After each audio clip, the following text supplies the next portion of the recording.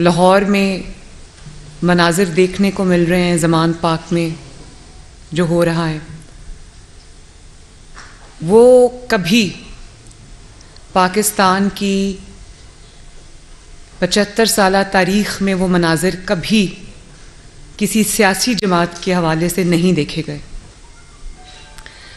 सियासी जमातों की जो क्रेडिट पे क्या चीज़ होती है, सियासी जमातें किस हवाले से पहचानी जाती हैं। पाकिस्तान की सियासी जो तारीख़ है, जमहूरी तारीख़ है, उसमें क्या है? हमने तो यही देखा है, यही सुना है कि कुर्बानी दी जाती है किसी भी जद्दोजहद के लिए, किसी भी सियासी तहरीक के लिए।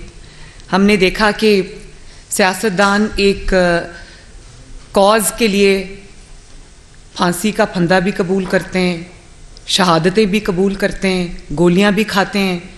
जिला वतनियाँ भी बर्दाश्त करते हैं, अटक किले के जंदानों में भी फेंके जाते हैं। और उम्र कैद भी बर्दाश्त करते हैं झूठे मुकदमात के अंदर।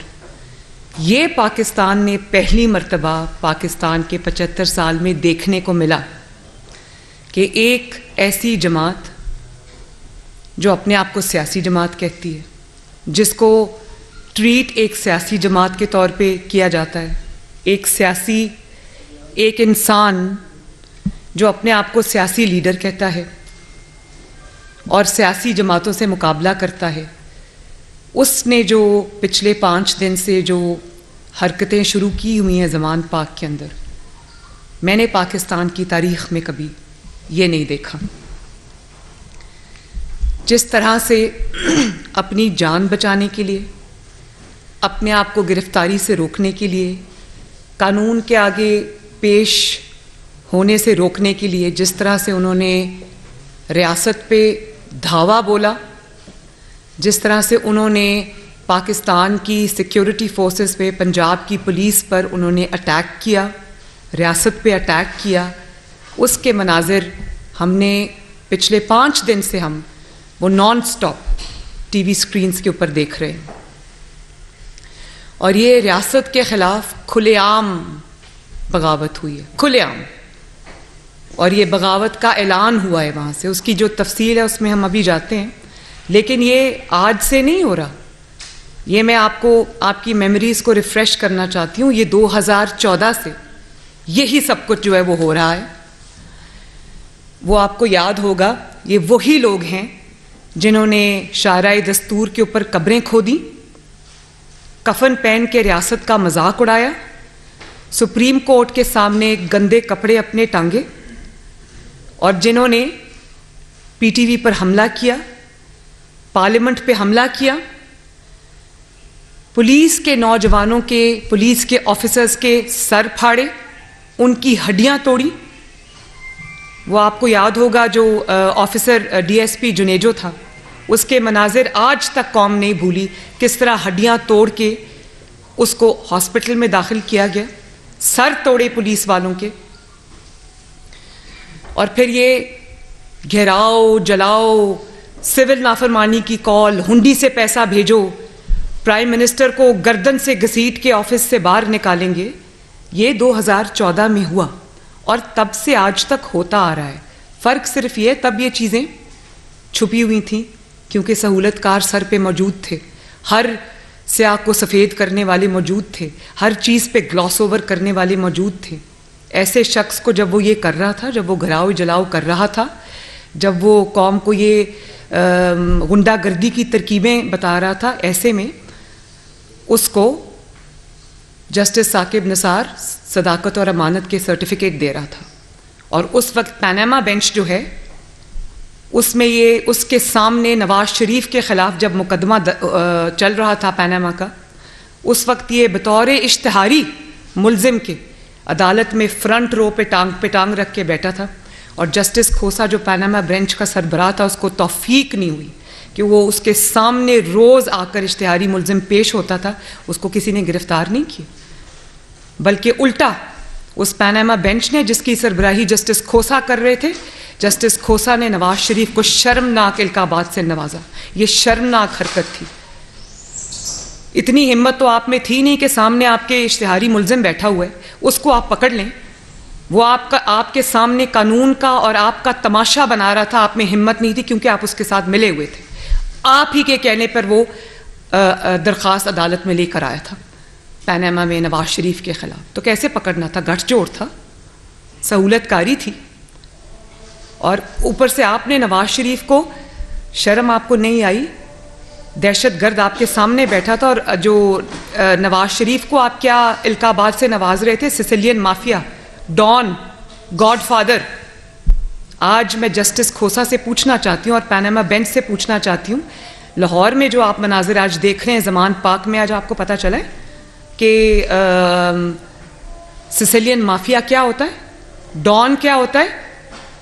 पूरे पाकिस्तान की पुलिस डॉन को पकड़ने की कोशिश कर रही है, अदालतें बुला रही हैं, वो शख्स किसी के हाथ नहीं आ रहा। अब पता चला है डॉन क्या होता है? अब पता चला है गॉड फादर क्या होता है? अच्छे से पता चल गया होगा। ज़रा आए ना कौम को अब बताएँ कि आज आपको पता चला है कि इन टर्म्स का या इन इल्काबात का मतलब क्या है? मुझे ये बताएँ आज ये ये 2014 से जो हो रहा है ये आज सामने इसलिए आ रहा है कि आज वो सहूलतकार ज़्यादातर घर को जा चुके हैं। अभी भी मैं बार बार कहती हूँ कि उनकी बाकियात मौजूद है जो इसको सहूलत फराहम कर रही है। हम गहरी नज़र रखे बैठे हैं लेकिन वो बाकियात अभी भी मौजूद हैं इसलिए जो असल बैसाखियाँ थीं वो चली गई इसीलिए आज ये जो आ, सामने खुल के आ रहे हैं। ज़रा दिखाएँगे प्लीज़ ये दो हज़ार, मैं ज़रा याद दहानी कराती चलूँ।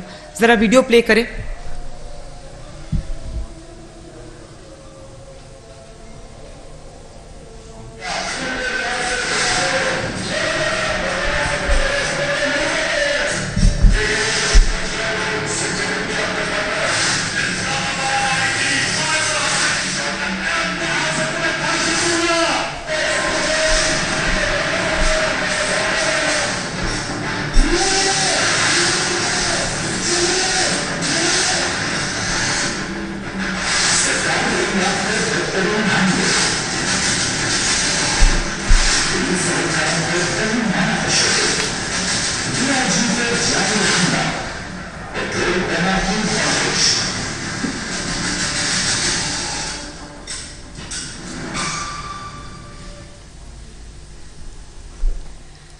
बात यह कि ये वाला जो आपने अभी देखा है 2014 में, ये 2014 में भी हो रहा था, लेकिन उस वक्त जो अंपायर ने उंगली पकड़ाई हुई थी और इसने पकड़ी हुई थी।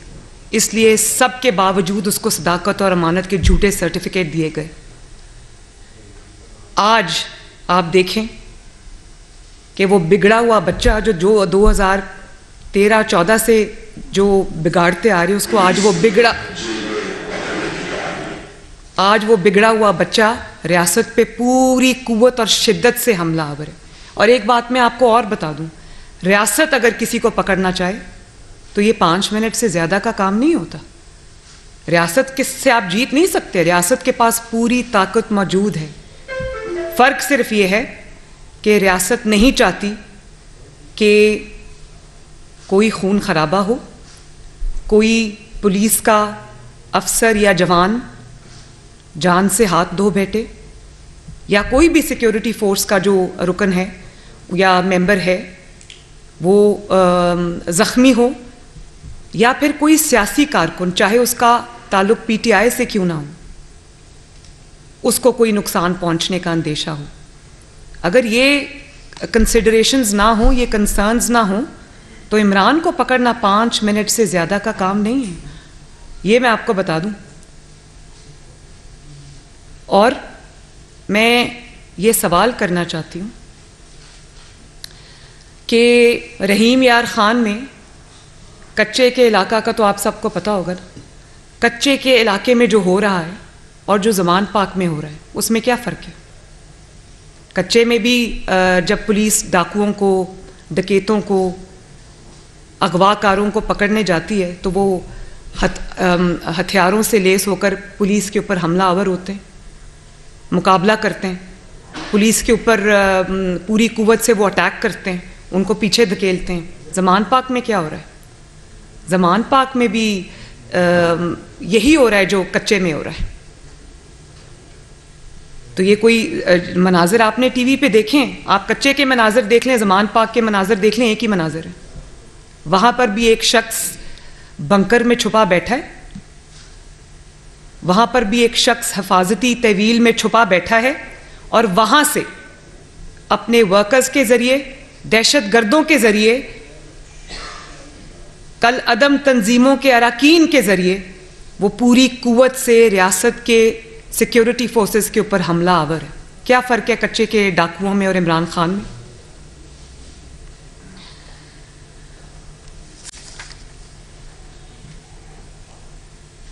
और आप ये देखें कि ये वही शख्स है जो आज फिज़िकली रियासत के ऊपर हमला आवर है, लेकिन रियासत के ऊपर हमला आवर ये अब से नहीं है।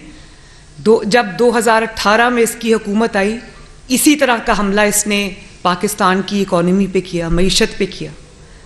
लैंड माइन्स बिछाई, बारूदी सुरंगें बिछाई जो आज तक जिसका खमियाजा जो है वो पाकिस्तान भुगत रहा है जिसके असरात पाकिस्तान में आज तक हैं पाकिस्तान अभी उससे निजात नहीं हासिल कर सका। वही इसने जब इसको पता चला कि ये हकूमत से जा रहा है तो वो साइफर वाली स्टोरी बना के ये ले आया कहानी बना के वो झूठ घड़ के ले आया। और हर जलसे में जलूस में वो साइफर वाला कागज़ जो था वो लहराता था। और आ, पाकिस्तान के ताल्लुकात दूसरे ममालिक के साथ मुश्किल में डाल के जेपडी में डालकर ख़राब करके ख़ुद ये हाथ जोड़ के अमेरिका से माफ़ी मांगकर ये ताल्लुक बेहतरी के लिए आज कोशिश कर रहा है।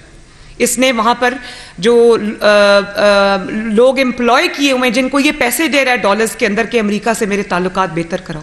पाकिस्तान के ताल्लुकात दूसरे ममालिक से ख़राब करके ये पैसे देकर अपने मामला जो है वो ठीक कर रहा है। और आप आज देखें, जलम खलीलजाद का स्टेटमेंट आया इसके हक में जलम खलील खलीलजाद साहब को मैं पूछना चाहती हूँ कि इसके दौर में जो बदतरीन तशद बदतरीन इंतकाम, बदतरीन विक्टमाइजेशन तमाम अपोजिशन पे हो रहा था, उस वक्त जलम खलीलजाद साहब चुप क्यों बैठे थे? और आज उनको ये हक किसने दिया है कि वो पाकिस्तान के अंदरूनी मामला में बोलें? वो ये भी ज़रा फरमा दें कि पूरी दुनिया के महजब ममालिक के अंदर जब कोई शख्स कानून को इवेड करता है अदालतों के अहकाम को पाँव के नीचे रोनता है अदालत बुलाती है जाता नहीं है फोर्स इस्तेमाल करता है। तो उसके बारे में दुनिया क्या कहती?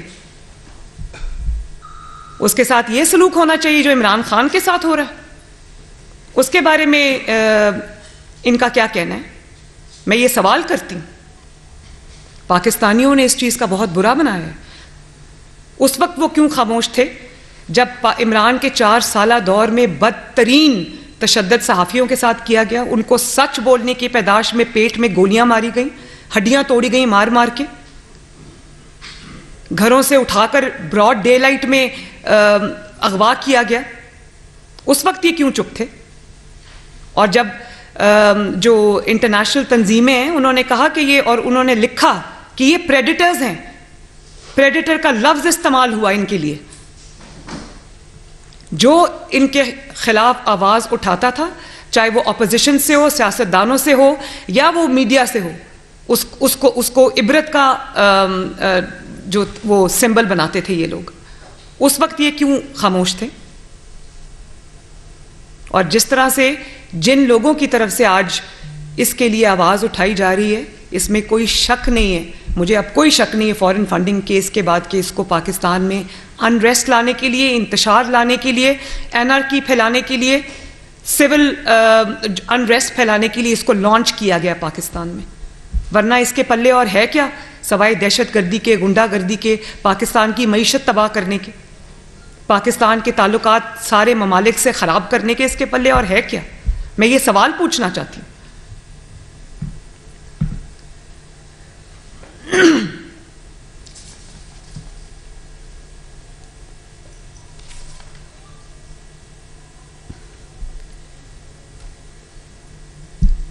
और फिर आप ये देखें कि तीन दिन से इंटरनेशनल मीडिया पे इंटरव्यूज़ दे रहा है। झूठ बोल रहा है। पाकिस्तान का चेहरा दागदार करके बता रहा झूठ बोला और चंद एक एंकर्स ने इसके झूठ पकड़े भी। उनको झूठ बोल रहा है कि मेरी तो 18 तारीख तक मेरे पास बेल थी। इसके पास कोई 18 तारीख तक बेल नहीं थी। अगर 18 तारीख तक बेल थी तो जब जब कोर्ट ने पुलिस भेजी पकड़ने के लिए तो क्यों नहीं जाके कहा, बेल का कागज़ दिखाया कि देखो मेरे पास ये बेल है? उस वक्त हाथ से लिखी हुई अंडरटेकिंग क्यों दे रहा है? जब बेल थी तो अंडरटेकिंग की क्या ज़रूरत है? वो तो बेल का कागज़ ही काफ़ी है। उनको ये झूठ बोल के बता रहा है कि मेरे पास बेल है अठारह तारीख तक। पूरी दुनिया के सामने झूठ बोल रहा है।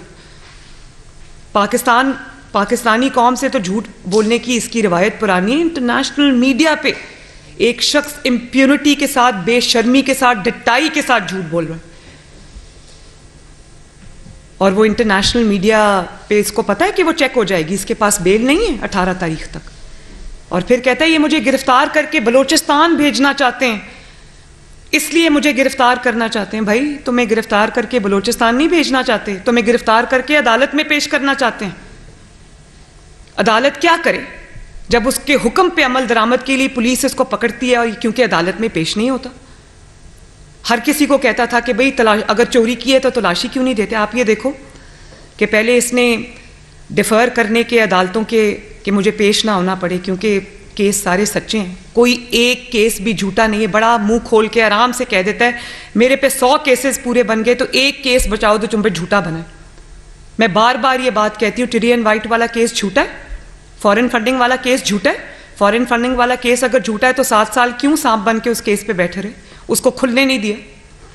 और डिलेइंग टैक्टिक्स यूज़ किए। टिरियन वाइट वाला केस अगर झूठा है तो जाओ अदालत में कह दो, वो मेरी बेटी नहीं। तोशा खाना वाला केस अगर झूठा है तो जाओ कह दो, मैंने चोरी नहीं की। किसने रोका? है मैं तो अपनी मिसाल दूँगी। मेरे पर जब झूठा इल्ज़ाम लगा तो मैं तो सौ से ज़्यादा पेशियों में शरीक हुई और झूठा इल्ज़ाम लगा, झूठी सज़ा मिली। लेकिन कानून का तमाशा नहीं बनाया कानून के आगे पेश हुए। फैसला पसंद था, ना, नापसंद था, मुनसिफाना था, गैर मुनसिफाना था। उस चीज़ से कतः नज़र। पाकिस्तान के कानून को पाँव की जूती के नीचे नहीं रोता एक एग्ज़ाम्पल सेट की कि अगर सच्चे हो तो एक दिन आएगा, जब आप इन ताला बरी होके सामने आओगे। तो ये किसको बेवकूफ़ बना रहा? है बलोचिस्तान भेजना चाहते हैं, भाई बलोचिस्तान नहीं भेजना चाहते, अदालत भेजना चाहते हैं। और अगर तुम खुद अदालत जाओ तो तुम्हें क्यों कोई गिरफ़्तार करे? तुम इतना कानून से भाग रहे हो कि तुम्हें अदालत लेके जाने पर तुम्हें गिरफ़्तार करना पड़ता है। और मैं आज भी ये कहती हूँ कि अभी इसको गिरफ़्तार ना किया जाए, इसके मुकदमे चलाए जाएँ, इसके मुकदमों में इसको पेश किया जाए, ये एक अंडरटेकिंग लिख कर दे तमाम केसेस में जो इसके खिलाफ चल रहे हैं, कि मैं हर पेशी पर जब अदालत बुलाएगी, मैं पेश हूँगा तो मैं कहूँगी, इसको अभी गिरफ़्तार ना करें। जब इसके मुकदमात का फैसला हो जाए तो इसको गिरफ़्तार करें। क्योंकि वो सामने फैसला दीवार पे लिखा हुआ है, इसीलिए पेश नहीं होता। और पेश होना, ना पेश होना एक अलग बात है। अब वो किस तरह से हमला आवर है? मैं तो ये सोचती हूँ कि जो ज़रब अज़म में हमने मनाजिर देखे थे, जो रद्दुल फसाद में हमने मनाजिर देखे थे, जब दहशत गर्द होते हैं कोई, दहशत गर्दी का प्लानिंग कर रहे होते हैं, वो क्या करते हैं? वो गार में बैठकर, गारों में छुप कर वो वहाँ से ऑर्डर्स पास करते हैं। पॉलिटिकल तरीक़ों में, जमहूरी तरीक़ों में, जब किसी मकसद के लिए कोई पाकिस्तान के सियासतदान या किसी भी मुल्क के सियासतदान, जब कोई तहरीक चलाना चाहते हैं जब कोई कैंपेन चलाना चाहते हैं, जब कोई जमहूरी तहरीक चलती है तो हमने तो यही देखा है कि जो सियासी लीडर होता है, या जो जमात का सरबराह होता है, वो फ्रंट से लीड करता है, वो सबसे आगे होता है, लोग उसके पीछे निकलते हैं। ये हमने तो यही देखा है। ये हमने पहली मरतबा देखा है, ये तो हमने सियासी, दहशतगर्द जमातों के साथ देखा है कि वो गारों से बैठ के ऑर्डर देते हैं, वही हो रहा है जमान पाक में। जमान पाक के बंकर से बैठकर बयान दिए जा रहे हैं। जमान जमान जमान पाक, जमानत पाक की मेरे मुँह पे अब आ जाता है, क्योंकि है तो वो जमानत पाक की। जमान पाक के बंकर से बैठकर लोगों को कहा जा रहा है पेट्रोल बॉम्ब्स फेंको। कहाँ से आया वो पेट्रोल? कहाँ से आए वो पेट्रोल बॉम्ब्स? कहाँ से आया वो जो टेक्नोलॉजी है जिसके थ्रू आपने जो पेट्रोल बॉम्ब्स हैं वो बनाए? सियासी जमातों के हाथों में कभी आपने पेट्रोल बॉम्ब्स देखे? डंडे बरदार लोगों की फोर्स है।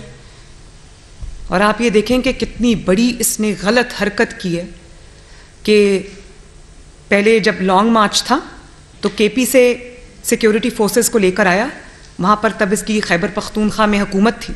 वहाँ से सिक्योरिटी फोर्सेस को लेके आया, वहाँ से जत्थे लेकर आया और इस्लामाबाद पुलिस पर हमलावर हुआ। उनके मुकाबले उनको लाके खड़ा कर दिया। आज क्या कर रहा है? आज भी यही कर रहा है। आज गिलगित बल्तिस्तान में हुकूमत है। ये हुकूमतें बनाता ही इसीलिए कि उनके रिसोर्स को इस्तेमाल करे। आज गिलगित बल्तिस्तान के अंदर हुकूमत है, वहाँ से सिख पुलिस लेकर आकर उसको पंजाब पुलिस के मुकाबले में खड़ा कर दी। तो ये एक सूबे को दूसरे सूबे से लड़ाने की घनौनी साजिश, अगर किसी और, अल्लाह ना करे किसी और सियासतदान ने, किसी और सियासी लीडर ने, किसी और जमात के सरबराह ने की होती तो क्या रियासत इस तरह बैठ के तमाशा देखती जिस तरह आज रियासत बैठ के तमाशा देख रही? ये सवाल बनता है या नहीं बनता? और फिर आपने कल अदम तंजीमों के लोगों को जमान पाक में रिहाइश पजीर किया हुआ है। उनको रखा हुआ है कि अगर रियासत पे हमले की ज़रूरत पड़े तो वो ट्रेन दहशतगर्द वहाँ पर रखे हुए और कल इनकी कोई टाउट है, जो जर्नलिस्ट है, वो ट्वीट डिलीट कर दी लेकिन उसने कहा कि ले आओ हेलीकॉप्टर, हमारे पास हेलीकॉप्टर के साथ निमटने का भी पूरा प्लान है। तो हेलीकॉप्टर से निमटने के लिए आपके पास क्या होता है? वो कहाँ से आए सब, ये सब इनके पास? और आज वो इब्रारुल हक साहब का मैं स्टेटमेंट देख रही थी, वो कहते हैं कि हमारे लोग खुद कुछ हमलावर बन गए। हैरत। दहशतगर्द तंजीमों को देखा हुआ था कि वो लोगों को ट्रेन किया करती थी कि हथियार ऐसे चलाते हैं पेट्रोल बॉम्ब बॉम्ब ऐसे फेंकते हैं, खुद कुछ हमलावर जैकेट्स पहनाती थी, उनकी ब्रेन वॉशिंग करते थे, उनको लॉन्च करते थे। भाई, अपने बच्चे तुम्हारे लंदन में महफूज मकामात पे बैठे हैं गुल छर्रे उड़ा रहे हैं। अभी वो वीडियो देखी तीनों बच्चे इसके। कोई जगह जा रहे हैं और ऐशो इशरत की ज़िंदगी गुजार रहे हैं और पाकिस्तानी बच्चों को तुम पेट्रोल बॉम्ब्स हाथ में देकर उनको कहते हो कि रियासत के ऊपर हमला करो, पुलिस के जवानों पे हमला करो, पुलिस के अफसरान पे हमला करो। शर्म नहीं आती तुम्हें ये हरकत करते हुए? और फिर आपने वो ऑडियो सुनी जिसमें यास्मीन राशिद साहिबा ये कह रही हैं कि मैं टिकट नहीं दूँगी।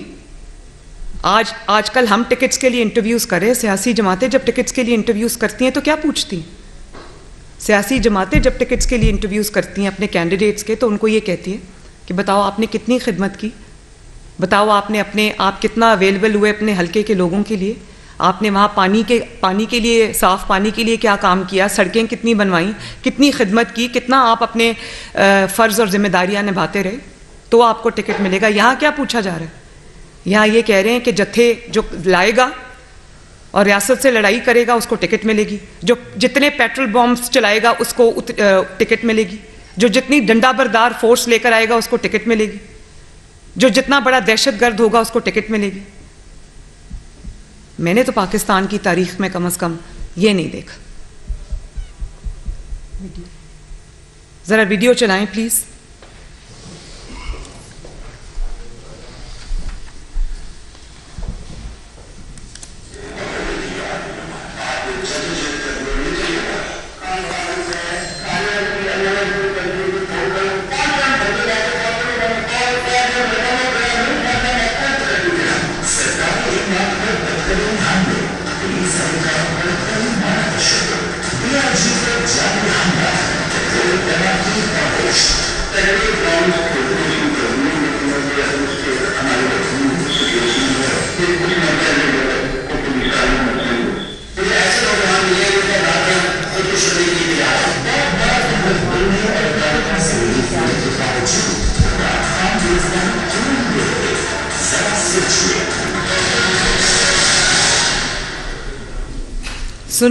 वो कह रहे हैं कि हमें ऐसे नौजवान मिले जो खुद कुछ हमले के लिए तैयार हैं। तो अब इसमें किसी को कोई शक को शुबे की गुंजाइश रह गई है कि ये एक सियासी जमात नहीं, बल्कि एक अस्करी जमात है, जो एक नफेरियस एजेंडा लेकर, पाकिस्तान की तबाही का एजेंडा लेकर, पाकिस्तान के अंदर खाना जंगी का एजेंडा लेकर, फॉरेन कुतों के ईमा पर ये लॉन्च हुए हैं। कि नहीं चलने देना मुल्क को। कुछ भी हो जाए, नहीं चलने देना। अब जमान पाक के इर्द गिर्द जो हो रहा है, क्या वहाँ के रिहायशियों को तकलीफ़ नहीं हो रही? पुलिस वहाँ पर सड़कें जब ब्लॉक होती हैं, जब इस किस्म के लोग होते हैं, जब इस किस्म की वहाँ पर एक्टिविटीज़ होती हैं तो कितना आवाम को वहाँ पर तंगी का सामना करना पड़ता है? लोग कितने डिस्टर्बेंस होती है वहाँ पर? लोग बच्चे स्कूल नहीं जा सकते। और रियासत जो है वो बेबस होकर तमाशा देख रही एक शख्स ने पूरे कानून को, आइन को, पूरे उसको अपने पाँव की जूती के नीचे रखा हुआ है। और उसको, आप ये देख लें, आज भी उसको जो वारंट्स है वो सस्पेंड हो गए। भाई, ज़रूर करे सस्पेंड आपने करने हैं तो। लेकिन मैं क्या पूछती हूँ, क्या यही सहूलत पाकिस्तान की बाकी सियासी जमातों को हासिल यही सहूलत नवाज़ शरीफ को हासिल है? मैं ये सवाल पूछती हूँ कि ये तफरीक क्यों है?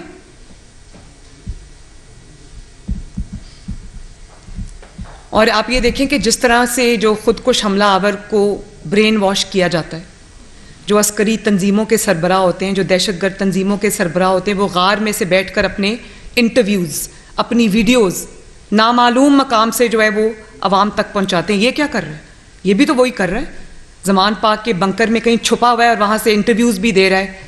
अदालत नहीं जाना, पेश नहीं होना इंटरव्यूज़ भी करने हैं, सब कुछ करना है, उस वक्त करते हुए ना जान को कोई ख़तरा है, ना किसी और चीज़ का कोई ख़तरा है। और जिस तरह जो अस्करी जमातें हैं या जिस तरह से दहशत गर्द जमातें हैं, वो अपने लोगों को ये कहती हैं कि जाओ, खुद को जैकेट पहनो, खुद को हमला करो, जन्नत का वादा करती हैं, इसी तरह ये लोगों को कह रहा है, जाओ रियासत पे हमला करो, ये टिकट का वादा कर रहा एक ही बात है। कोई दो दो बातें नहीं है ये। और मासूम शहरियों को इस्तेमाल कर रहे हैं। खातन को इस्तेमाल कर रहे हैं। अपने बच्चे बाहर बिठाए हुए अपनी खातन बाहर बिठाई हुई और सड़क पे निहत्ते बच्चों को आगे किया हुआ है, जिन्होंने डंडे पकड़े हुए क्या ये मेरी कौम का मुस्तबिल है? क्या ये मेरे नौजवानों का मुस्तबिल है? तो ये सवाल हैं ऐसे जिनके जवाब पाकिस्तानी कौम जो है वो मांग रही टिकट लेते हुए ये पूछेंगे, कितने नौजवानों के, कितने पुलिस वालों के सर तोड़े, कितनी पुलिस वालों की हड्डियाँ तोड़ी? ये पाकिस्तान की सियासत को क्या रुख दिया जा रहा है? और ये पाकिस्तान का क्या चेहरा पेश किया जा रहा है? सिर्फ़ इसलिए कि एक शख्स अपने मुकदमात से डरता है, एक शख्स इंसाफ से डरता है, एक शख्स के हाथ जराइम से रंगे हुए हैं, लेकिन वो अपनी, वो अदालत में पेश नहीं होता। भाई, कुछ नहीं किया तो हो जाओ ना पेश। कह दो मैंने कुछ नहीं किया। वो भी नहीं कहना, क्योंकि झूठ पहले पता है। पता है कि जुर्म किया हुआ है। सिर्फ़ एक शख्स की जान बचाने के लिए कानून से ये पूरा का पूरा खेल रचाया जा रहा है। और पूरी स्टेट जो है वो हॉस्टेज बनी हुई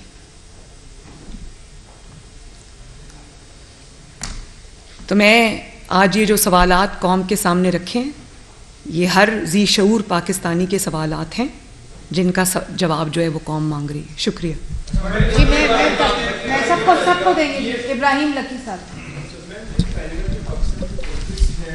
कम्प्रोमाइज्ड है पॉलिटिशियन कंप्रोमाइज्ड हैं इस्टेब्लिशमेंट कंप्रोमाइज्ड है जुडिशरी कंप्रोमाइज्ड है तो इस सब में जमहूरियत कैसे फले फुले, फुलेगी? अगर दो हज़ार अठारह का अगर रीप्ले हो जाता है, अगर इफ़ इफ़ एंड बट की बात है तो जमहूरियत हमारी कैसे फले फुले, फुलेगी? ये जो मैंने अभी पूरा मुकदमा आपके सामने रखा, जमहूरियत के आगे बढ़ने का एक ही तरीका है कि गैर जमहूरी जो लोग हैं, जो किसी एजेंडा के तहत लॉन्च किए गए उनका हिसाब किताब हो उनका पूरा कच्चा छट्टा आवाम के सामने लेकर आएँ। और अगर वो अकाउंटेबिलिटी से भागते हैं तो उनको पकड़ के अदालतों में पेश किया जाए। और इसमें मैं अदालतों को भी ये कहूँगी कि आपको इंसाफ करना चाहिए। जब आप के जो अहकाम हैं, उनको हवा में उड़ाया जाता है, जब उनका तमाशा बनाया जाता है, जब आपके अदा, आपके अहकाम को नहीं मानते, और पाकिस्तान का एक आदमी जो अपने आप को पॉलिटिकल लीडर कहता है वो अगर आपके अहकाम का मज़ाक बनाता है तमाशा बनाता है उनको जूती के नीचे रोनता है उनके बारे में झूठ बोलता है सरेआम। आप अगर चुप करके तमाशा देखेंगे तो पाकिस्तान की अदलिया पे सवाल उठेंगे और उठ रहे हैं। ये नहीं होना चाहिए। जिस मुल्क में इंसाफ होगा उस मुल्क में जमहूरियत भी आगे बढ़ेगी। जी। ये बताइएगा कि मैडम ये बताइएगा कि दो इश्यूज़ बड़े अहम चल रहे हैं इस वक्त मुल्क के। एक तो चल रही है महँगाई। लोगों को बहुत ज़्यादा मुश्किल का सामना है। आपकी विफाकी हुकूमत है। दूसरा एटमी प्रोग्राम की बात हो रही है और एटमी मिसाइल सिस्टम की बात हो रही है। कहा यह जा रहा है कि आईएमएफ ये कह रहा है कि इसको रिवर्स किया जाए या स्टेप बैक किया जाए इस मामला के हवाले से। तो यह इस मामला के ऊपर आपकी हुकूमत कुछ देख रही है कि अगर उधर से कुछ शराय इस तरह की आती हैं तो क्या इकदाम करेगी आपकी हुकूमत? देखिए, मैं आपने महँगाई की बात की, आपने आईएमएफ की बात की, मैं फिर वही बात करूँगी। जिस, जो शख्स इस महँगाई का जिम्मेदार है जो शख्स आईएमएफ के साथ माहे का ज़िम्मेदार है जो शख्स आईएमएफ के हाथों पाकिस्तान को गिरवी रखने का ज़िम्मेदार है उसको पकड़ो और कौम के सामने पेश करो। वो अपने जवाब खुद दे। जहाँ तक आपने जो बात की ये एक मुहब वतन हुकूमत है। कोई ऐसा ना फैसला होगा ना होने देगी ना कोई ऐसी शर्त मानेगी जिसके ऊपर पाकिस्तान जिस पे पाकिस्तान की सालमियत पे कोई आँच भी आए। जी। कहिएगा कि इमरान खान वो शख्स हैं जो पहले ये कहा करते थे कि मैं किसी सूरत भी चोर डाकू इस तरह के नाम लेके वो कहा करते थे कि मैं इनके साथ नहीं बैठूँगा। लेकिन गुजशत पाँच सात दिन के अंदर हमने ये देखा कि दो से जायद बार इमरान खान बाकायदा तौर के ऊपर ये पेशकश कर, कर चुके हैं कि वो हर किसी के साथ बैठ कर बात करने को तैयार हैं। क्या मुस्लिम लीग नून इमरान खान के साथ बैठेगी या पी डी एम की पूरी जमातें इमरान खान के साथ किसी भी चाहे इलेक्शन की तारीख का मामला हो या कोई और दीगर मामला हो उनके साथ मिल बैठेंगे। बड़ा अच्छा सवाल आपने किया और बात यह कि जिस तरह से एक हकूमत एक स्टेट पाकिस्तान के इदारे एक कलदम तंजीम के साथ डील करते हैं एक दहशत गर्द जमात के साथ डील करते बिल्कुल उसी तरह इमरान खान के साथ डील करना चाहिए। उसको एक सियासी जमात समझना और सियासी जमात समझ कर डील करना अब इस आ, मुल्क को ख़त्म करना पड़ेगा। और दूसरी बात जो आपने की ना वो ये बात इसलिए कर रहे हैं कि वो अपने सारे हरबे आजमा चुके हैं। वो लॉन्ग मार्च कर चुके हैं वो कॉल्स दे चुके हैं। अभी आपने देखा लाहौर में उन्होंने आवाम को कॉल दी आवाम नहीं निकली। वो ये सब करके देख चुके जेल भरो तहरीक पा, पाकिस्तान की बल्कि दुनिया की सबसे नाकाम जेल भरो तहरीक थी। दुनिया का सबसे नाकाम लॉन्ग मार्च था। दुनिया की सबसे नाकाम जो है उनकी रैलीज थी। तो अब वो क्या करें? उसके बाद वो हमलावर भी हो गए लेकिन कब तक? कब तक वो ये दहशत गर्दी जारी रख सकते हैं जमान पाक से? मैंने आज भी बताया कि स्टेट उसको पकड़ना चाहे तो पाँच मिनट से ज़्यादा का काम नहीं है। स्टेट की कमज़ोरी या मजबूरी जो है वो नहते अवाम है। उनका खून नहीं चाहता कोई भी। और ये हमारी ज़िम्मेदारी है कि ऐसा तरीके से वो काम हो, किसी को भी नुकसान ना पहुँचे। तो अब सब कुछ क्योंकि फेल हो चुका है तो आज मैं हुकूमत के साथ बैठने को तैयार हूँ। ये हुकूमत को चाहिए कि बिल्कुल उस तरह उसके साथ डील करे जिस तरह दहशत गर्दों के साथ डील करती है। जी आपके पास है हुकूमत आपके पास है तो आप रियासत से सवाल पूछ रहे हैं कि रियासत इतनी बेबस क्यों है? हम आपसे सवाल पूछना चाह रहे हैं कि आप इतने बेबस क्यों हैं जबकि पता है इतलात मौजूद हैं कि जमान पार्क में कल कलदम तंजीमों के शरपसंद अनासर मौजूद हैं।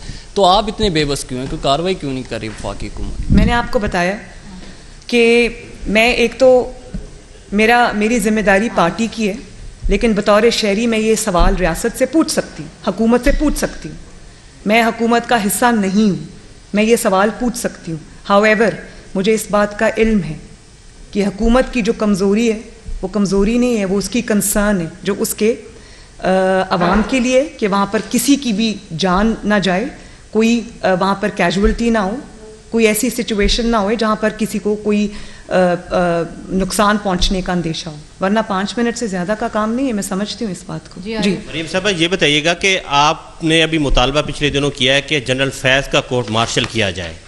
जनरल फैज़ के कोर्ट मार्शल पर आप एग्री हैं और जनरल बाजवा के कोर्ट मार्शल पर आपकी क्या राय है? और दूसरा ये बताएँ कि इमरान खान के आप हवाले से बहुत सारी जो पब्लिसिटी के हवाले से सर्वे करवाए गए हैं। उनकी 60 से 70 परसेंट जो है उनकी पॉपुलैरिटी है इस टाइम तो आप लोग उसे डिक्टेटर शो करवा रहे हैं पब्लिक उन्हें डिक्टेटर मानने को तैयार नहीं है, इस पर क्या कहेंगे? दो सवाल आपने पूछे, जहाँ तक जनरल बाजवा और जनरल फैज़ का सवाल है। मैं इसका जवाब बहुत तफसील से ये दे चुकी हूँ कि उन्होंने जो भी किया है, वो पूरी कौम के सामने, अब वो ख़ुद भी उसका एतराफ़ कर चुके हैं, ख़ुद भी एतराफ़ कर चुके हैं, और एक दूसरे पे इल्ज़ाम लगा रहे हैं। तो मैं ये अपने इंटरव्यू में कह चुकी हूँ कि जो इदारा है, वो उसकी बदनामी का बायस बने हैं तो इदारे को चाहिए कि वो खुद ऐसे अनासर और ऐसे लोग जो इदारे की ऊपर बदनामी का बायस बनते हैं, उनके लिए स्टिग्मा होते हैं, उनको सॉर्ट आउट करने की ज़िम्मेदारी भी इदारे की है और ये उनको करना चाहिए। इससे उनकी जो वकार है और उनकी जो इज़्ज़त है, उसमें इजाफा होगा। दूसरी बात जो आपने की, मैं ख्याली सर्विस पे तो नहीं जाती। लेकिन अगर सर्विस की इतनी ही पॉपुलैरिटी है तो आप मुझे बताएँ कि आज दहशत गर्दी पर क्यों उतरने की ज़रूरत पड़ेगी? कहाँ गए वो लोग जो जेल भरो तहरीक में भी नहीं आए लॉन्ग मार्च में भी नहीं आए, लाहौर की रैली में भी नहीं आए, किसी कॉल पर भी नहीं आए? और उनको ये कहा, ये थ्रेटन किया जा रहा है कि लोग लेकर आओ, वरना आपको टिकट नहीं मिलेगा। तो ये पॉपुलर जमातें होती। कहाँ है पॉपुलैरिटी वो? थ्रेट्स क्यों पेश किए जा रहे हैं कि लोग लाओगे तो मैं, हम आपको टिकट देंगे? मतलब देर बाय मीनिंग के लोग नहीं आ रहे। खाली खुली जो अपनी ही सीटों को जीत जाना उसमें से भी पीएमएलएन कुछ सीटें जीत गई है। तो ये तो इन ताला बहुत जल्द इलेक्शन होंगे तो पता चलेगा कि पॉपुलर कौन है। असल पॉपुलर कौन है लोग सब समझते हैं। जी।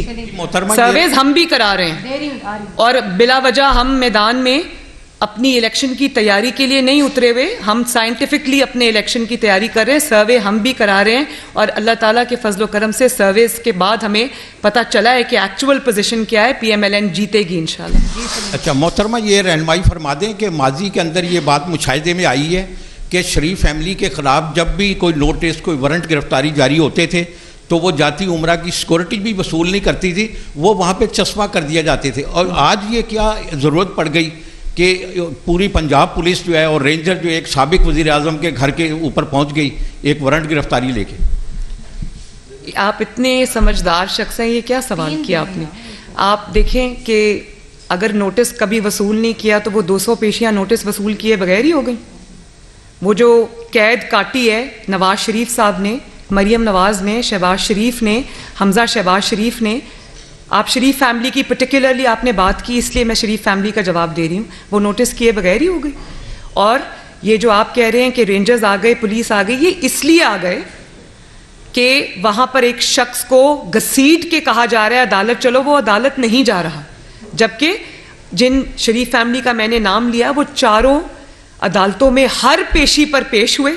किसी एक पेशी पे नहीं कहा कि हम बीमार हैं, मेरी बीवी बीमार है, मैं सेवेंटी टू ईयर्स का हूँ, मैं बुज़ुर्ग हो गया हूँ, मेरी टांग टूटी हुई है। किसी ने ये बात नहीं की। नवाज़ शरीफ साहब एक हार्ट पेशेंट होते हुए एक्चुअल सिचुएशन के वो पेश होते रहे। शहबाज शरीफ साहब कैंसर के मरीज़ हैं, कमर दर्द की तकलीफ़ है, पेश होते रहे। और फिर सिर्फ़ पेश नहीं हुए, गिरफ्तारी भी दी, जेलें काटी, इंतकाम की। तो ये तो दोनों का कंपैरिजन ही नहीं बनता भाई। जी। आपने जब मियाँ नवाज़ शरीफ साहब की हुकूमत का ख़ात्मा किया गया तो बड़ा अग्रेसिव जानदार पॉलिटिकल बयानिया आपने क्रिएट किया, वोट को इज़्ज़त दो के हवाले से कम्पेन चलाई आपने। पजीराई बहुत मिली पब्लिक में आपके इस बयानियों को। उसके बाद उन्हीं लोगों के ख़िलाफ़, जिनके ख़िलाफ़ आपने ये बयानिया तरतीब दिया था, उन्हीं के ख़िलाफ़ शुरू कर दी बयानबाजी। इमरान खान साहब ने, मेरी मुराद जनरल बाजवा और जनरल फैज़ से है, और आप पीछे हट गए उससे। अब आपकी सारी गुफ्तु से लगता है कि आपका जो नेक्स्ट बयानिया है, वो सिर्फ़ इमरान खान को काउंटर करने के लिए है, उसको एक्सपोज करने के लिए है, और सारे का सारा उसी के ख़िलाफ़ है। क्या ये दुरुस्त है? कल कला इमरान खान को सज़ा हो गई, वो अंजाम को पहुँच गए तो फिर आपका बयानिया क्या होगा नेक्स्ट देखिए, बयानिया किसको कहते हैं? मैंने ये बात बारहा कही है, मैं दोबारा दोहरा देती हूँ। बयानिया उसको नहीं कहते कि जब कोई इकतदार में हो, जब कोई अपनी पूरी कुत में हो, ताकत में हो तो आप उसको, उसके पाँव को पकड़ें और जब वो चला जाए अपने टेन्योर पूरा करके तो तब आप उसका गिरबान पकड़ें। नवाज़ शरीफ साहब ने जब जनरल बाजवा का और जनरल फैज़ का नाम लिया था, उस वक्त वो लोग वो एक सिटिंग आर्मी चीफ था और दूसरा सिटिंग डी जी था। और वो जो पी डी एम का पहला जलसा था गुजरावाला का, उन्होंने तब उसका नाम लिया। आज भी I am not mincing my words मैं उनका भी नाम ले रही हूँ, उनकी बाकियात का भी नाम ले रही हूँ। उनकी तस्वीर भी दिखा रही हूँ लोगों को। जो हकायक हैं, वो बता रही हूँ लोगों को। तो हमारा बयानिया कोई साइफर का बयानिया नहीं है, और या ये बयानिया नहीं है कि जब आप चीफ, आपका चीफ हो और आप इकतदार में हो तो आप कहें कि जनरल बाजवा जैसा कोई चीफ नहीं था, ऐसा सिपा सलार तो पाकिस्तान की पचहत्तर साल। तारीख में नहीं आया, ये तो ऐसे हैं, इन्होंने मेरे लिए इतनी मदद की, मेरी, मेरे लिए पैसे ले लेकर आए बाकी मुल्कों से। और जब जनरल बाजवा चले गए और आपका इकतदार चला गया तो आप उनके, उनको कहते हैं कि इनका कोर्ट मार्शल होना चाहिए। ये तो बुजदिल की निशानी है कि जब कोई, जब आपको किसी से डर हो, कोई ताकतवर हो, उस वक्त आप उसका, उसके पाँव पकड़े और जब वो बाहर आ जाए, कमज़ोर हो जाए तो तब आप उसका गिरबान पकड़ें।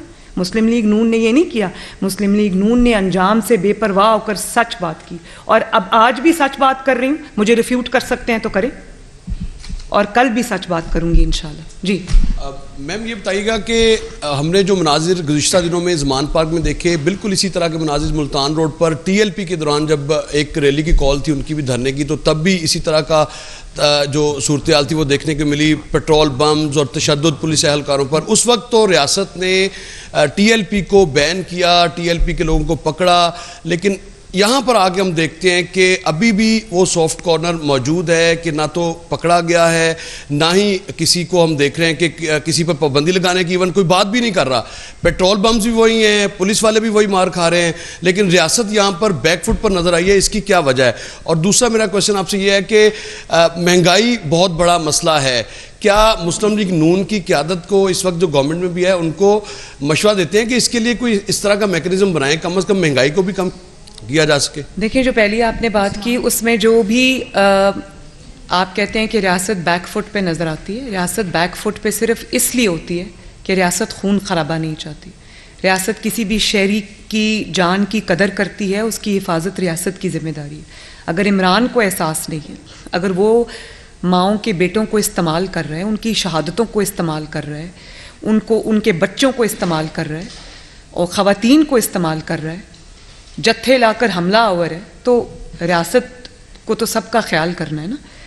हाँ ये ज़रूर है कि अब रियासत को इदारों के साथ सर जोड़ के बैठना होगा और ए, इसके ऊपर से सियासी जमात का लेबल जो है वो हटाना होगा। इसको एक कलदम जमात के तौर पे डील किया जाना चाहिए इसको एक अस्करी सियासी जमात के तौर पे डील किया जाना चाहिए और इसको एक दहशत गर्द जमात के तौर पे डील किया जाना चाहिए। और अगर ये नहीं होता अगर ये नहीं होता तो मुझे ये बहुत बड़ा सवाल जो है, वो इस हकूमत पे खड़ा होगा। दूसरी बात आपने क्या की? महँगाई की। मुझे हकूमत को मशवरा देने की ज़रूरत नहीं है, क्योंकि मैं ये जानती हूँ कि शहबाज शरीफ साहब हूँ या इसहाक डार साहब हूँ। वो दिन रात उनका पहला कंसर्न ही यही है और उनके एजेंडा पे सबसे नंबर वन आइटम होता है कि महँगाई को किस तरह कंट्रोल किया जाए आईएमएफ के साथ किस तरह से डील किया जाए, इस तरीके से कि आवाम पे ज़्यादा बोझ भी मज़ीद ना पड़े। और देखिए, हम लोग पॉलिटिकल पार्टी है, हमारा अपना पॉलिटिकल कैपिटल है, हमें एहसास है इस चीज़ का। उस आवाम के जो ऊपर जो मुश्किल आई हुई उसके साथ साथ हमें अब हमें अब इलेक्शन में भी जाना है तो हमें एहसास है इस चीज़ का। मुझे इस, मेरे, मुझे इल्म है इस चीज़ का कि शहबाज शरीफ साहब छः बजे उठकर जो है वो अपना काम शुरू करते हैं, रात को बारह बजे तक वो काम करते हैं, और ये उनके पहले एजेंडा के ऊपर पहले नंबर पे है चीज़। जी। मैडम, कल इमरान खान साहब ने मीडिया टॉक की और उन्होंने कहा कि मौजूदा जो चीफ ऑफ़ आर्मी स्टाफ है, उन्होंने नाम तो नहीं लिया, मगर उन्होंने कहा कि हाजी साहब मतलब जो भी ऑपरेशन हो रहा है, इसके पीछे वो हैं। और दूसरी बात ये कि जो इतला सेकंड, उमर, पहले इसका मैं जवाब दे, उस्मान सॉरी इसका मैं जवाब दे दूँ। ये एक बड़ा अच्छा क्वेश्चन है। क्या उनको चीफ ऑफ़ आर्मी स्टाफ ने कहा था कि अदालत में पेश ना हो? क्या चीफ ऑफ़ आर्मी स्टाफ ने कहा था कि घर के बंकर में छुप के बैठ जाएँ और अदालत के जब अदालत बुलाए तो कह दें मेरी टांग टूटी हुई। क्या चीफ ऑफ़ आर्मी स्टाफ ने उनको कहा था कि पिछले पाँच महीने से टांग पे प्लास्टर चढ़ा के बैठ जाएँ? क्या उन्होंने चीफ ऑफ़ आर्मी स्टाफ ने उनको कहा था कि आप जो है वो अदालत जब बुलाए तो कह दे मेरी जान को खतरा भाई, ये बात कोई पॉलिटिकल विक्टिमाइजेशन नहीं है। वन पॉइंट एजेंडा अदालत बुला रही है, पेश हो जाओ तो मैं कोई गिरफ़्तार नहीं करेगा। तो क्या ये बुजदली का जो आइडिया था ये उनको चीफ ऑफ़ आर्मी स्टाफ ने दिया था? बात यह है कि जब आपके पास अपना जवाब नहीं है जब आपके अपने जराइम से हाथ रंगे हुए हैं जब आपका कसूर अपना है तो उसके लिए आप जितने मर्ज़ी स्केप गोड्स ढूंढ लें उसका कोई फ़र्क नहीं पड़ता।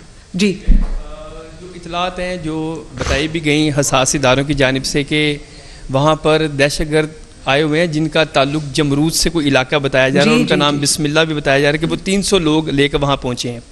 पूरी रियासत ने हमने देखा कि यहाँ पर कानून नाफज करने वाले इदारों ने शहादतें दी दहशत गर्दी के खिलाफ ऑपरेशन में। क्या रियासत को अपना एक्शन खुद नहीं लेना चाहिए कि हमारी फोर्सेस इतनी स्ट्रांग हैं कि उनको पता कि किस तरह ऑपरेशन करना है? इसमें वीकनेस नज़र आई है। बेशक वो ऑपरेशन ये बात ठीक है। ये बिल्कुल ठीक है कि वहाँ दहशत गर्द छुपे हुए हैं। मैंने तो तस्वीर भी देखी उन दहशत गर्दों की जो जमान पाक में इस वक्त पनाह लिए हुए हैं। लेकिन देखें, रियासत की फिर मजबूरी वहाँ सिर्फ़ दहशत गर्द और जत्थे वाले लोग नहीं, वहाँ पर कुछ मासूम पोलिटिकल वर्कर्स भी हैं, जिनको गुमराह करके लाया गया है वहाँ पर। वो भी वहाँ पे ट्रैप्ड है। तो उनकी हिफाजत की ज़िम्मेदारी हमारी और हम नहीं चाहते कि चाहे वो पॉलिटिकल पार्टी का कारकुन पीटीआई का कारकुन हो, उसको कोई गुजंद पहुँचे। वो मासूम लोग हैं, वो इस्तेमाल हो रहे हैं। एक चोर की चोरी बचाने के लिए, उसकी बुजदली पर पर्दा डालने के लिए वो लोग इस्तेमाल हो रहे हैं।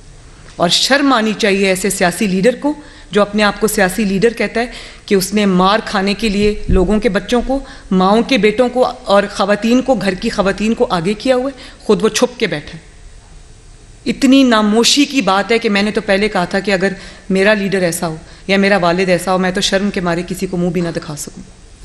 ये एक नई रिवायत हमने सियासत में देखी है और कितनी ये शर्म की बात है। पॉलिटिकल लीडर्स तो सामने से लीड करते घरों में छुप के तो नहीं बैठते? लोगों को कहा गिरफ्तारी करो जेल भरो खुद बेलें भरते रहे अपनी। तो लोगों के बच्चों माओं के बच्चे फालतू आए हुए माओं की गोदें जो उजड़ी वो जो ज़िले शाह है उसकी माँ से पूछो ना आज। और पूछो कि तुम्हारा बेटा क्यों शहीद हुआ है? वो एक चोर की चोरी आ, आ, बचाने के लिए लोगों के बच्चों को इस्तेमाल कर रहे फिर उनकी मौत को भी इस्तेमाल करते उनकी शहादत को भी इस्तेमाल करते शर्म आनी चाहिए। जी। आ, आपकी तमाम स्पीचेस जो हम सुनते हैं, वो इमरान खान से लेके शुरू होती है और उसी पे ख़त्म होती है। इमरान खान को सुनते हैं तो उनकी जो जितनी स्पीचेस होती है, वो हकूमत के अगेंस्ट होती है पी एम एल एन के अगेंस्ट होती है। तो ये तासर नहीं दिया जा रहा कि ये दो पॉलिटिकल पार्टीज़ की ईगोज़ की वजह से आवाम जो है, वो पिस रही है। बेटा, मेरी कोई ईगो नहीं। और मैं आपको ये बहुत बार ये कह चुकी हूँ कि अगर मेरे बस में होता तो मैं कभी इमरान का नाम भी ना लेती, ये इतना मैं मैं क्या कहूँ कि ये इतना इस किस्म का इंसान है कि मुझे इसके ख़िलाफ़ बात करते वक्त अपने लेवल से नीचे आना पड़ता है। लेकिन जब पाकिस्तान की जो हर बीमारी है, उसकी जड़ इमरान खान है। पाकिस्तान को कोई आज एक्सटर्नल थ्रेट नहीं है। पाकिस्तान को इंटरनल थ्रेट है। पाकिस्तान को इंस्टेबिलिटी का थ्रेट है। इंस्टेबिलिटी ब्रीडिंग ग्राउंड होती है हर उस प्रॉब्लम के लिए जो आज पाकिस्तान फेस कर रहा है। तो उस प्रॉब्लम के सारे ताने बाने जब इमरान से मिलते हूँ, मीशत की तबाही का वो जिम्मेदार है आईएमएफ की डील का वो जिम्मेदार है लाकानूनीत का वो जिम्मेदार है तोशा खाना चोरी का वो जिम्मेदार है। फॉरेन फंडिंग पाकिस्तान में लाकर गैर कानूनी तौर पे उसको पाकिस्तान की डिस्टेबलाइजेशन के लिए खर्च करने का वो जिम्मेदार है। आज जो ये सिचुएशन है जो एक एना की सी है, सिविल अनरेस्ट है, उसका जिम्मेदार कौन है? जिम्मेदार एक ही है उसी का नाम लेना पड़ता है। लेकिन आई एग्री विद यू मुझे तकलीफ़ होती है जब मुझे उसका नाम लेना पड़ता है। ये ईगोज़ की जंग नहीं है ये सच और झूठ की जंग है मेरा फ़र्ज़ है। बतौर पाकिस्तानी बतौर एक जमात की रुकन के कि मैं जो सच है वो कौम को बताऊँ। जी। जी। मरीम नवाज़ साहिबा, ये फरमाइएगा कि पीटीआई के जिन लोगों ने पंजाब असम्बली में फ्लोर क्रॉसिंग की और मुस्लिम लीग नून को सपोर्ट किया, मुस्लिम लीग नून अब आम इंतबात में उनको टिकट्स देगी, क्योंकि माजी में ज़मनी इंतबात में मुस्लिम लीग नून ये तजर्बा कर चुकी है कि उन्हीं लोगों को टिकट्स दे के वो हार चुके हैं। क्या दोबारा ये तहरीर, दोबारा दोहराया जाएगा? दूसरा ये फरमाइएगा कि इतलात हैं कि नवाज़ शरीफ साहब पाकिस्तान नहीं आ रहे। अगर पाकिस्तान नवाज़ शरीफ साहब नहीं आते तो मुस्लिम लीग नून उनके बगैर इलेक्शन में जाएगी और अपना मतलूबा रिज़ल्ट हासिल कर सकेगी। आपकी जो दूसरे सवाल का जवाब मैं पहले दे दूँ, आपकी इतला दुरुस्त नहीं है। नवाज़ शरीफ साहब बहुत जल्द पाकिस्तान आएँगे और अपनी इलेक्शन कैंपेन को वो इन ताला करेंगे। जो दूस, पहला सवाल आपने किया, वो ये है कि देखें बात यह है कि काइंडली क्रॉस टॉक ना करें। बात यह है कि मुस्लिम लीग नून और मैं क्योंकि मैं अब आ, जो कैंडिडेट्स हैं उनकी शॉर्ट लिस्टिंग भी कर रही हूँ।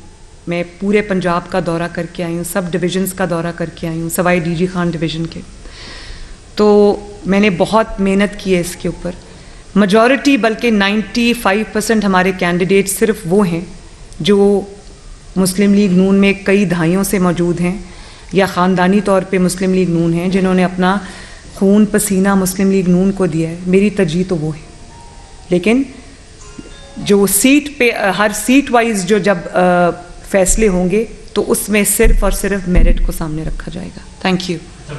एक मिनट जी एक मिनट आप सवाल करें माइक जिनके ये बताइएगा कि आपने कहा कि इमरान खान ने यानी उन्होंने एक शख्स ने जो है वो कानून को पाँव के नीचे रखा हुआ है और रियासत तमाशा देखती रही। यानी कि आप इसमें जो रियासत से शिकवा कर रही हैं ये रियासत से मुराद क्या है? इस्टेब्लिशमेंट है। और अगर इस्टेब्लिशमेंट है तो क्या आप इस शिकवे के तहत उनको इन्वॉलमेंट की दावत नहीं दे रही?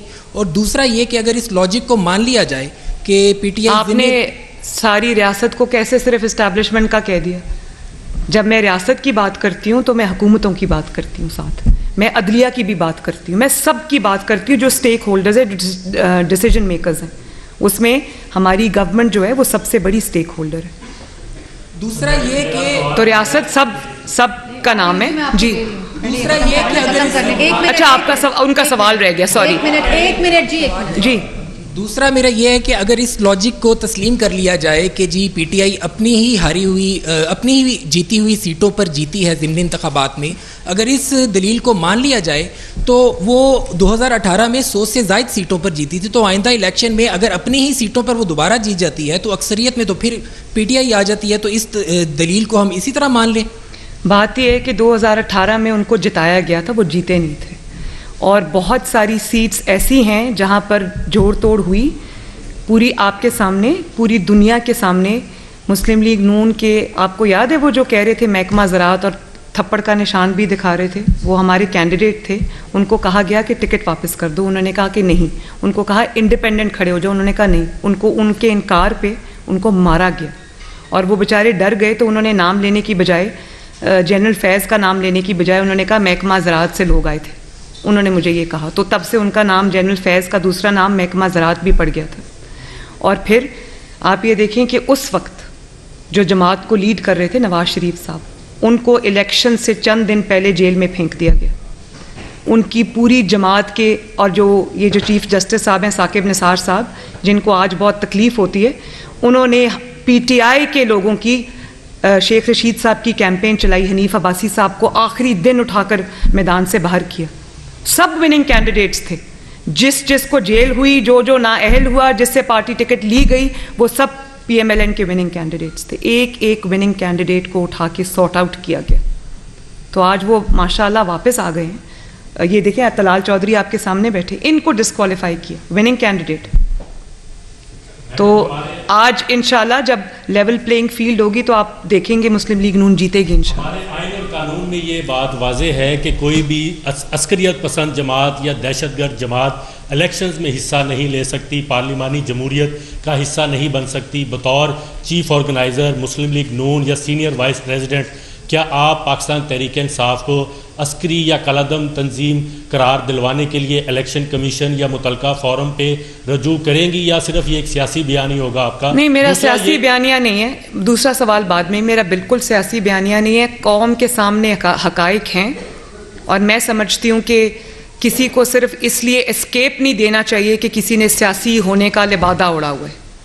इनके निकाब इनके मुँह से खींचने चाहिए इनके भयानक चेहरे आवाम को नज़र आने चाहिए। और ठीक है अगर आपने अस्क्रियत पसंद बन के आना है आपने दहशत गर्द जमात बन के आना है तो फिर आपको दहशत गर्द जमात बन के आना होगा। फिर आपको पॉलिटिकल पार्टीज़ का गाब अवेलेबल नहीं होगा उसका फसाड अवेलेबल नहीं होगा ना होना चाहिए। मेरी सिर्फ़ इतनी सी बात है। अच्छा मैडम और फिर जो ट्रीटमेंट आप देते हैं सियासी जमातों को वो फिर आपको दहशत गर्द गर्दों को वो नहीं देना चाहिए। फिर आपको तफरीक करना करना पड़ेगी। अच्छा मैडम बताइएगा औरत हो होके आप जो है वो आप अदालतों में भी जाती रही आप जेल भी गई और इमरान खान जो है वो मर्द होके वो सिर्फ़ अभी तक जो है वो सिर्फ़ अदालत में नहीं जा रहे गिरफ्तारी या जेल में जाने की तो बहुत दूर की बात है। आप इस कंपैरिजन को किस तरह देख रही हैं? मैं इस कंपैरिजन को जो शेर और गीदड़ के एक तरफ़ आप शेर रख लें एक तरफ़ आप गीदड़ रख लें। तो आप देख लें आपने मेरी बात की। जो गिरफ्तारी से डर जाए जो अपने निहत्ते कारकुनों को मरवाने के लिए आगे छोड़ दे खुद बाथरूम में छुप जाए या चारपाई के नीचे छुप जाए उसको क्या कहते? हैं उसको पॉलिटिकल लीडर नहीं कहते। पॉलिटिकल लीडर तो हँसते हँसते फांसी के फंदे पे झूल जाते हैं। हँसते हँसते शहादत कबूल कर लेते हैं। हँसते हँसते डिस्qualify हो जाते हैं। हँसते हँसते जंदानों में वक्त गुजार के आ जाते हैं। ये होते हैं पॉलिटिकल लीडर्स जो ये नहीं कर सकते, जिनकी गिरफ्तारी के नाम से जान जाती है, उनकी नींदें उड़ जाती हैं तो उसको लीडर नहीं, गीदड़ कहते हैं। सबसे पहली, पहला सवाल तो ये है कि इमरान खान जो है, वो उसका सबसे बड़ा इल्ज़ाम जो है पाकिस्तान मुस्लिम लीग नून और हुकूमती जमात पर यह है कि हुकूमती जमात नहीं चाह रही कि इलेक्शन हो। एक तरफ़ इलेक्शन डेट जो है वो दे दी गई है। तो क्या इलेक्शन हो रहे हैं, होने जा रहे हैं? देखें मैंने आपको ये पहले भी बहुत बार अपनी तकरीर में ये बता दिया है कि मैं मुस्लिम लीग नून अगर इलेक्शन नहीं चाहती तो मुस्लिम लीग नून किस चीज़ की दरखास्तें मांग रही है? मुस्लिम लीग नून अपने डिविजन्स के दौरे क्यों कंप्लीट कर चुकी है? मुस्लिम लीग नून अपने कैंडिडेट्स की लिस्ट क्यों कंपाइल कर रही है? आज पार्लियामेंट्री बोर्ड्स भी अनाउंस हो गए तो मुस्लिम लीग नून अगर अगर इलेक्शन से दौड़ रही हो तो मुस्लिम लीग नून एक वाहिद जमात है जिसने मैदान में उतर कर अपनी तैयारी शुरू कर दी है। मुस्लिम लीग नून चारपाई के नीचे नहीं छुपी हुई? मुस्लिम लीग नून अपने घर से रियासत पे हमले नहीं करा रही। मुस्लिम लीग मैदान में इलेक्शन की तैयारी कर रही है और ये भी मैं बता दूँ इन ताला ना सिर्फ़ हम ये इलेक्शन लड़ेंगे बल्कि जीतेंगे। दोबारा दुख से कह रही हूँ। बस आखिरी जी। पनामा केस की बात की सैसलिन माफिया गॉडफादर कहा गया नहीं कहना चाहिए अदालत के फैसले बोलते हैं। जब जजेस आला अदलिया में सिलेक्शन मनपसंद लगाए जाएँगे तो ऐसा ही होगा। अब आपकी हुकूमत है क्या आप आला अदलिया के जजेस की मेरिट पर तैनाती के लिए कोई कानून साजी या जुडिशल रिफॉर्म लाने की बात करेंगी? नंबर एक. नंबर एक मिनट पहले इसका जवाब सुने बिल्कुल करूँगी। ये जो बेंच बेंच फिक्सिंग है ये बंद होनी चाहिए। और ये किसी फ़र्द वाहिद के फ़ैसले नहीं होने चाहिए। कि एक शख्स जो अपना फ़ैसला बार हा एक एक पटिशनर के ख़िलाफ़ दे चुका है बार बार एक दफ़ा अपना माइंड दे चुका है एक दफ़ा अपना ज़ाती अनाद बता चुका है। आप हर हर बेंच में जब उन्हीं जजेस को शामिल करेंगे तो उसको और क्या कहते हैं? बिल्कुल ठीक है। दूसरा मेरा सवाल ये है कि पाकिस्तान पहला एटमी इस्लामी मुल्क है हम्म। और आज वो भीख मांग रहा है और आज जो हालात मुल्क के हैं वो आपके सामने हैं। आप पचहत्तर सालों में आज ये मुल्क में जो इस हालत पे पहुँचा हुआ है आप इसका ज़िम्मेदार किसको ठहराती हैं? बड़ा बड़ा तकलीफ़ दे सवाल आपने किया। पाकिस्तान जिस तरह से तरक्की कर रहा था, आगे बढ़ रहा था, वो कुछ लोगों को तकलीफ़ हो गई उसकी। 2017 तक आप 2013 से 2017 का पाकिस्तान देख लें। किस तरह दुनिया से इन्वेस्टमेंट आ रही थी। पहली दफ़ा पाकिस्तान में सी पैक जैसा मंसूबा, जिसमें इन्वेस्टमेंट के ढेर लग गए पाकिस्तान में। टू परसेंट ग्रोथ से six percent projected seven percent growth पे पाकिस्तान पहुँच गया। आईएमएफ का पहली बार जो माहा था उसको ना सिर्फ़ पूरा किया, बल्कि उस माहे के रहते हुए चार साल ना डॉलर को बढ़ने दिया, ना चीनी की कीमत बढ़ने दी, ना आटे की कीमत बढ़ने दी, ना बिजली की कीमत बढ़ने दी, ना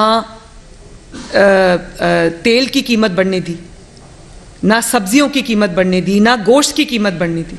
चार साल स्टैटिक रही कीमतें। तो किसको तकलीफ़ हुई?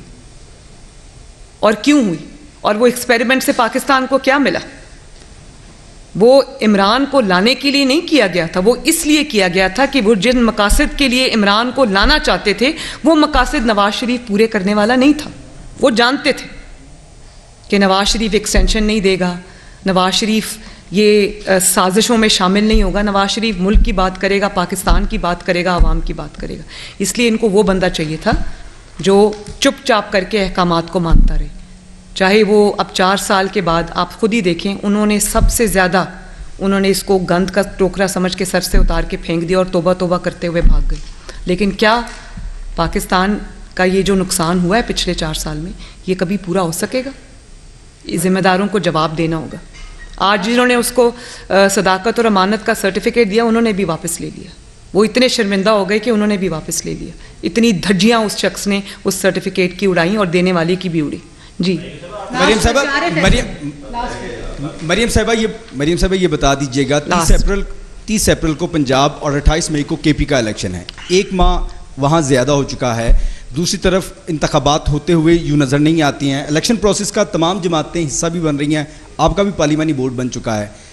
इस सूरत हाल के अंदर जब सिक्योरिटी फराहम करने के हवाले से कह रहे हैं कि सिक्योरिटी फराहम नहीं की जा सकती वसाइल इतने नहीं हैं इलेक्शन होने के लिए। तो क्या आपको तारीख पर इलेक्शन नज़र आते हैं? और दूसरा सवाल ये है पहले सवाल का जवाब सुन लें। बात यह है कि वसाइल अगर हों भी पाकिस्तान की हकूमत के पास तो पाकिस्तान की हुकूमत के वसाइल इसलिए नहीं है कि एक शख्स हर सीट से खड़ा हो जाए। पाकिस्तान की हुकूमत के एक एक सीट के ऊपर पैसा खर्च होता है टैक्स पेयर का पैसा है बच्चों का खेल नहीं है। फिर वो उनसे इलेक्शन जीत जाए फिर उनसे इस्तीफ़ा दे दे फिर असम्बली तोड़ दे और उसके बाद बार बार क्या यही तमाशा होता रहेगा? भाई एक हाथ बंद, बंदर बंदर है उसके हाथ में माचिस है वो पूरे जंगल में आग लगाने पे तुला हुआ है तो उसके कहने पे तो रियासत नहीं चल सकती ना? फिर ये भी देखना पड़ेगा कि आज भी इंतबात हों महीने बाद हों थर्टी अप्रैल को अल्लाह के फजल करम से हम तैयार हैं अपनी तैयारी पूरी कर रहे हैं। लेकिन क्या ये प्रेसिडेंट सेट होगा कि एक जहनी तौर पर कमज़ोर इंसान जो जहनी तौर पर आ, आ, स्टेबल नहीं है जो जहनी तौर पे एक मजूर इंसान है, अद्वियात के जेर असर है। उस शख्स के कहने पर आज पंजाब की असम्बली का इलेक्शन भी हो जाएगा के पी के की असम्बली का इलेक्शन भी हो जाएगा, उसके छः महीने बाद या चार महीने बाद नेशनल असम्बली के इलेक्शंस होंगे तो क्या हर पाँच साल बाद यही हुआ हुआ करेगा कि पहले पंजाब असम्बली का होगा इलेक्शन, उसके महीने बाद के पी के असम्बली का इलेक्शन होगा, उसके बाद जो है वो कौमी असम्बली के इलेक्शन होंगे। ये कोई तमाशा है? ये बाईस करोड़ आवाम का जीता जागता मुल्क है। यहाँ पे एक मंशियात ज़दा शख्स के फैसलों पर फैसले नहीं किए जा सकते। अच्छा ये बता दें डिजिटल सेंसिस इस वक्त जारी हैं। अगर दो असम्बलियों में इंतबात होती हैं और दो असम्बलियों में बाद में और फाक में होते हैं तो क्या हम तफरीक नहीं करेंगे? क्या हम इस मरदमशुमारी पर और बाद में होने वाले इलेक्शन को आपस में कन्फ्लिक्ट कर देंगे? देखिए ये आपने बड़ा टेक्निकल सवाल किया है। मेरे पास भी ये ये मेरा कंसर्न भी है। ये नहीं हो सकता कि कुछ के पिछले सेंसेस पे हो, कुछ के अगले सेंसेस पे हो, या मौजूदा सेंसेस पे हो। यही जो टेक्निकल चीज़ें हैं, वो उनका फैसला करना पड़ेगा। और ये मेरा ख्याल है कि जो जो कंसर्न इदारे हैं, वो सब ये चीज़ें ज़रूर कंसिडर कर रहे होंगे। बहरहाल, मैं रिपीट करना चाहती हूँ इलेक्शन अप्रैल में हो मई में हो जून में हो, या अक्टूबर नवंबर में हो इन ताला पी एम एल एन पूरा मुकाबला करने के लिए तैयार है। बहुत बहुत शुक्रिया।